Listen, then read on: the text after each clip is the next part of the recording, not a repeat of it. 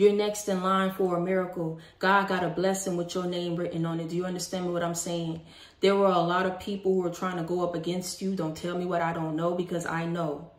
But when God has a plan for you, like I always say, when God has his eye on you, it's not only does he have his eye on you, he also has that on that of your enemies as well when people thinking that they're going up against you and that they're going to stop you from stepping into what it is that God has for you, maybe for a time or short for a short period of time, you may have been delayed, but you was never denied. And so you are stepping into everything that has been held back from you. You're stepping into everything that these people tried to keep from you. You are being elevated and taken to the next level. You about to skip some levels, God said, because of how long and how enduring and how relentless these people were in trying to keep you on this path. You endured, you persevered, you remained, you remained dutiful, you remained faithful.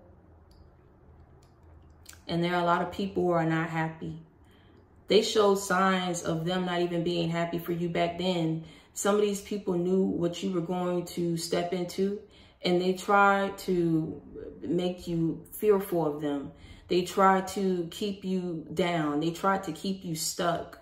But in you listening to the Most High and you keeping God first before everything that you're doing, that is what your saving grace is. And now God is saying He's ushering you into these blessings and miracles that He uh, has in store for you. And He's saying that you're next in line.